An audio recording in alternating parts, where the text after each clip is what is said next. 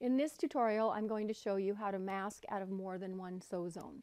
The only difference will be is I'm using my mouse where you would be using the Innova sew head right handle green button, which is your place button.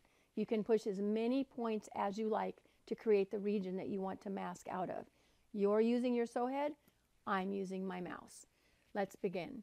I'm going to come to generate edge to edge and there you go.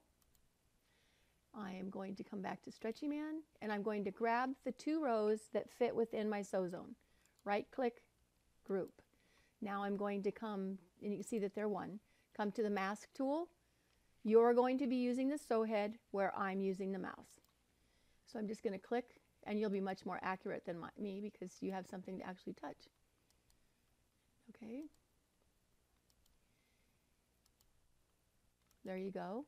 When I'm done, remember complete region and now find something that is not covered by the mass, by the edge to edge, which this is the negative space between the row.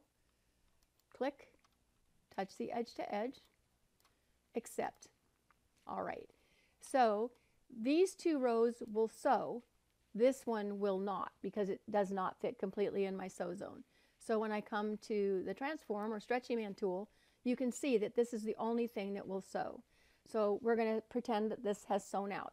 Now I'm going to come to the reposition tool and I'm going to reposition here,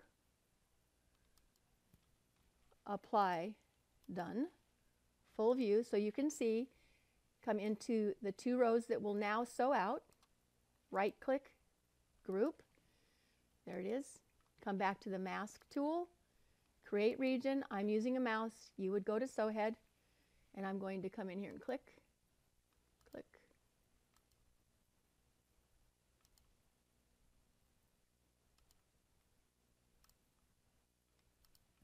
Complete region, find something not covered by the edge to edge, which is right here, touch the edge to edge behind my mask, accept.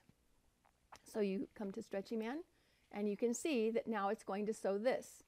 I'm going to come to the sew options tool in my sew bar, start, and I'm going to speed it way up so that I can see what it's going to do. And I always check my mask after I've generated it to make sure that it's going to sew out the way that I want to. There you go. Let's see what it does.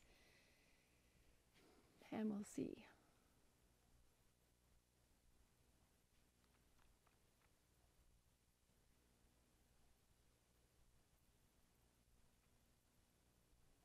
So you see where it's going to combine both rows. It uh, finds its own path within those two rows instead of trying to sew one row at a time.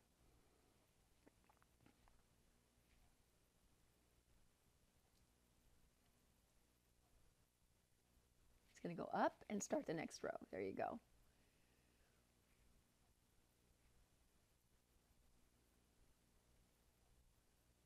There you go. All right, when it jumps over there, I'm just going to turn this off because you see what it's going to do. But I hope this helped you to set up a mask in more than one sew zone.